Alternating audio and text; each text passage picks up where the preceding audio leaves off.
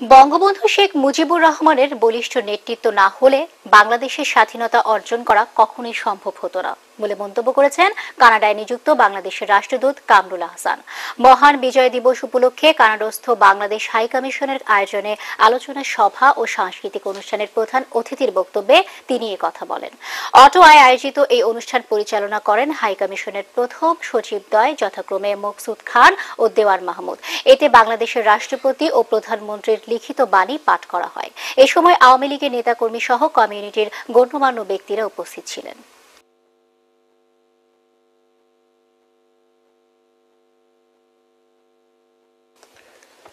প্রবাসীর আরও কিছু প্রসঙ্গ। সৌদি আরবের জেদ্দায় মহান বিজয় দিবস উদযাপন ও মহানগর যুবদলের অভিষেক অনুষ্ঠিত হয়েছে।